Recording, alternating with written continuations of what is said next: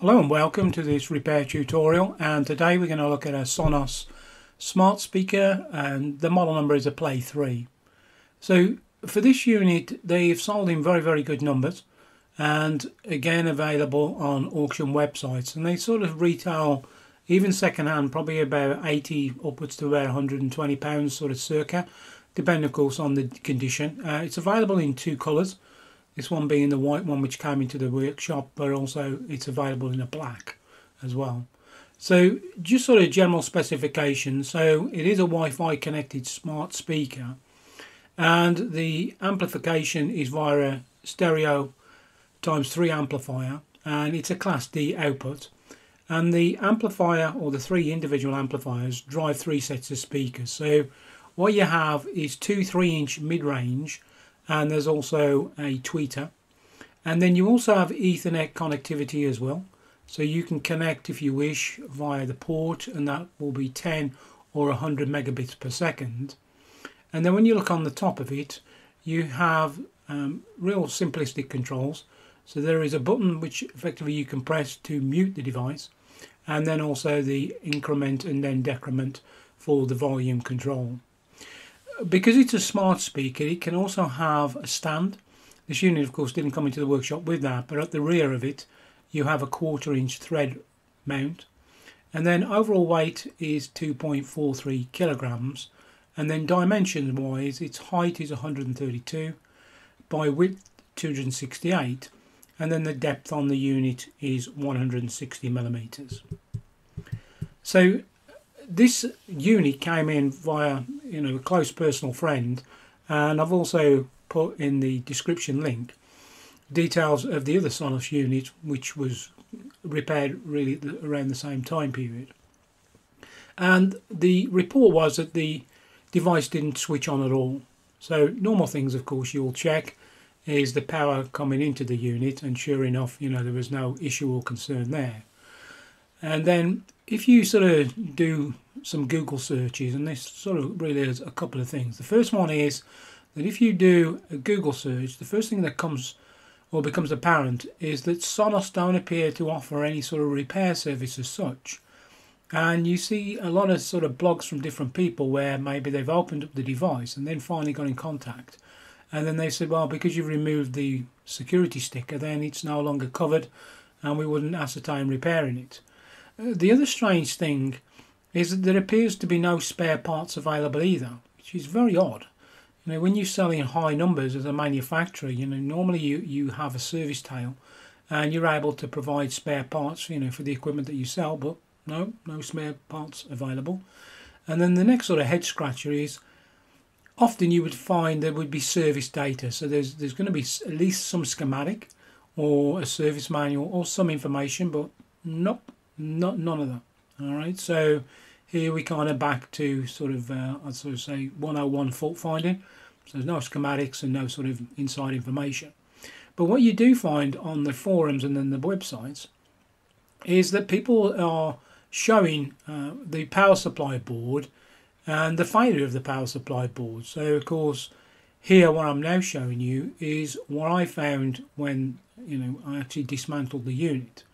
But before we sort of get into the details, the question, of course, is if you're unfamiliar with taking these things apart, how do you get into it? Because it seems, on the face of it, to be a sealed unit.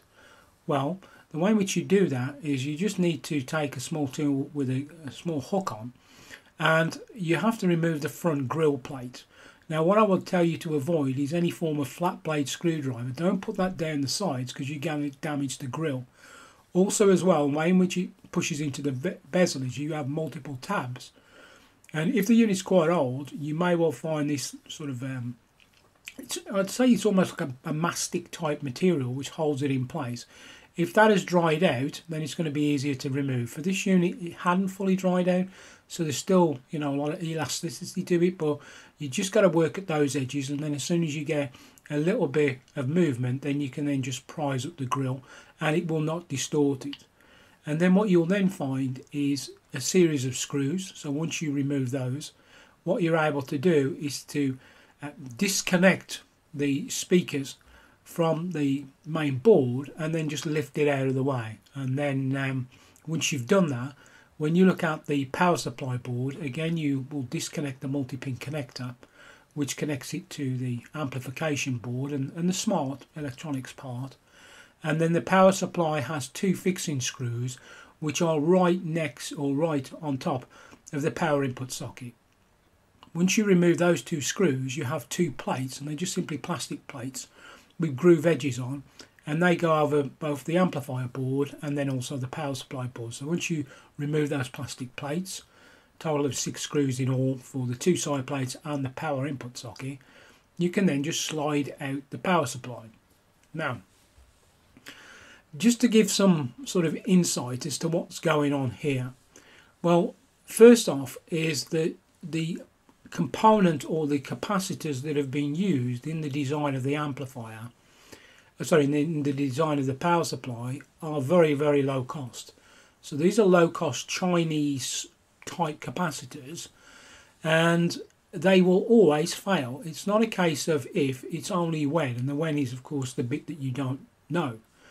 And it's not a case that the power supply capacitors on the switch mode side just simply fail and then the unit you know goes off. What happens is it happens over time. So these electrolytic capacitors start to leak electrolyte. And this is what I'm showing in the video through the series of photographs. So what has happened is that the electrolytic capacitors have leaked and the electrolyte then has soaked into the circuit board. Now the electrolyte is conductive and then the main power supply board also is dual layer. It has two circuit tracks, one internal within the fiberglass board and then one external if you flip it over. So here the electrolyte of course is leaked, it's soaked in and then that has created the path and then the current has started to pass through the soaked electrolyte board and it's become more and more conductive. And you could see signs of this not only on the board that I'm showing here, but also um, internally. So it's, it's like it had been sort of smoking away to the point that the circuit board track failed, and then that cut off, of course, the supply then, and the unit went dead. Now, you will see this on any of these Sonos units, and it may not be as bad as this one. As you can see, you know, it came to a point where sometimes when you get electrolyte leakage, you may be able to cut out a small section of the circuit board and then fill it in with an epoxy resin and then make good with an electrical you know wire connection. The level of damage on this board was so severe that that was just not an option. So the only issue the only thing that you can do is to source a donor board. And this is a common terminology often in things like uh, sort of um, iphone repairs or maybe you know apple devices or PCs where a repair company will have you know multiple circuit boards and what they'll do is they'll take components from those circuit boards and they use them as donor components. Here I was able to source a donor board. But of course as I've mentioned many times in the repair tutorials you have to build some longevity back into the repair. So I could have just took the donor board and plugged it in and then complete the repair. But I know that this issue with the failure of these low cost capacitors will happen again. So to prevent that, what I've done is a two stage approach. The first one, of course, is to remove the capacitors from the donor board. This is what I'm sort of doing. And then what I've then done is I've just cleaned the board up and I'll show you now, as you can see, even the removed capacitors from the donor board had started to fail. There were already signs that the insulation, the rubber insulation was starting to give up and these capacitors were then, you know, going to leak. Once I've cleaned the board up, what I've then done is I've put some insulation tape over the area. So even if in the future the capacitors do fail and then leak, there is a degree of protection which will prevent the electrolyte ideally from soaking into the board. But remember when you're removing the uh, defective capacitors, this is a dual layer board, so what you'll see is that the circuit tracks connect through from the bottom and then into like the center part of the board and then up. And these vias, you have to avoid any kind of damage.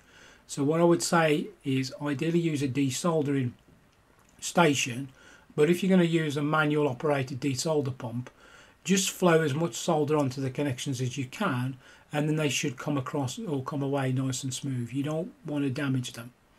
And then what I've done here is I've sourced high grade electrolytic capacitors. So these three capacitors are 33 microfarad each, but they are rated at 400 volts. So they're working extremely hard because they're on the high voltage section of the switch mode. And the type that I've fitted here are Rubycons. So these are certified genuine original Rubycon capacitors and that's what have been uh, been placed into there. Now once that was done and I'll tell you even on the donor board and you can kind of see this in the video I never understand why manufacturers do this but you know they've not used this sort of old sort of conductive glue you know which turns corrosives over time now what they've done is they've used silicon rubber you know so they, they've they've used that which is the same sort of stuff that maybe you would seal a shower with and they put that over multiple components and they've also put it in between the electrolytic capacitors. So in terms of repair you just got to take a little bit of time. It's best to take you know something like a craft knife and then just cut through the silicon rubber so it's not touching either of the other components. And then as I said you know just be very careful not to damage the via when you desolder them so once that was done, rather than put the power supply into the smart speaker and power up, I simply did a bench test. So I always power it up via the dim bulb tester and there was no illumination coming on so it wasn't drawing an excess current. And also as well you can see um, in the series of photographs there is also a small Wickmann fuse as well which is near to the second electrolytic capacitor but that was verified and you know that wasn't sort of open circuit or anything like that. So although it was a donor board I'm just verifying that the donor board was fully working before it was then reinstalled. And once that was done functional test with the power supply out of out of the unit and then it's just a case of just the reassemble them. So bit of insight for yourselves again not a very very complicated repair but for people who are doing a generic search, maybe on Google, you know, for Sonos Play 3, particularly if the unit will not power on, or even if you can't get, it's more like an electrical smell type odor, that will indicate that the power supply is starting to fail. Um, and I think it's a bit, yeah, it's not ideal. And when I say it's not ideal, these units are not inexpensive. And I always think on the side of the consumer. So if you're going to pay a reasonable sum of money, then you would expect, you know, some better components in there. And the electric capacitors really, you know, the, the difference between a low cost capacitor and say a Japanese high quality capacitor is not that great. So I'm not sure why manufacturers would sort of want to skimp on that, but it is what it is. So once the unit was reassembled, you know, it's quite easy just to do a functional test on it and uh, also the uh, final clean. So once all done, simple matter then of returning it back to uh, my friend along with the uh, other units which uh, as I say I've put the link in the description below.